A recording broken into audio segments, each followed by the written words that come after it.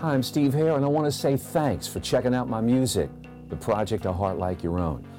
The prop behind me, a cross, really says why we did it to connect people to Jesus. There's a bunch of names on that cross. I'm a guy that goes out on the street, ministers to people that other have forgotten about. Hundreds of names on that cross were signed by people who had a disconnect in their walk with God, but they found their heart. Hey, the single is called A Heart Like Your Own.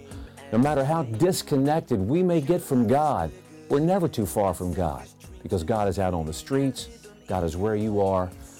The project is here to connect you to Jesus Christ. A shout out to my producer, Seth Mosley. What a guy.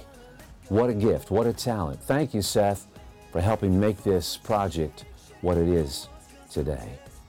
I'm a pastor. I've been pastoring well over two decades in the same city near Philadelphia, Pennsylvania. And one thing I found over the years, no matter who you are, no matter what you've done, no matter what color you are, no matter what you have or you don't have, you can have a heart after God. Every song on this project is designed to help you get closer.